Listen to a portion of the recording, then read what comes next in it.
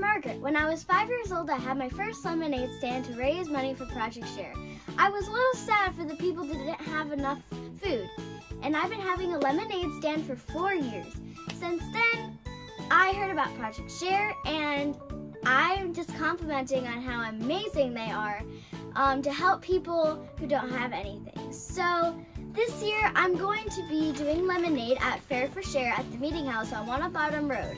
It is at 2 o'clock, 2 to 7. Hope you can come. I will be making blueberry lemonade, strawberry lemonade, and regular lemonade. Hope you can come.